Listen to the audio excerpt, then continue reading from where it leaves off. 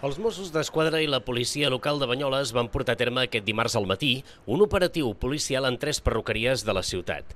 En les inspeccions als establiments, que s'han donat a conèixer avui, es van denunciar irregularitats administratives i també es van aixecar denúncies per tinença de drogues, faltes de respecte a l'autoritat i per infraccions a la llei d'estrangeria.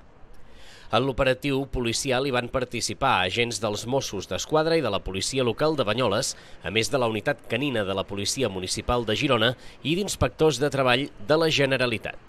L'actuació es va centrar en tres perruqueries que generaven queixes reiterades per incompliments en la regularització administrativa i també per les sospites que eren punts de venda de substàncies estupefaents. Els agents van inspeccionar dues perruqueries situades al carrer Llibertat i una altra del carrer de la Canal, on van identificar les persones que hi treballaven i van registrar l'establiment. En total es van localitzar quatre persones treballant sense cap tipus de contracte per trobar-se en situació irregular al país. En un dels establiments es van localitzar dues peces de xix amb un pes total de 15 grams i tres paperines de cocaïna amb un pes aproximat de 0,68 grams cadascuna i es van denunciar una persona. A més, es va denunciar el propietari d'un dels locals per falta de respecte a l'autoritat i el treballador d'un altre establiment per negar-se a identificar-se.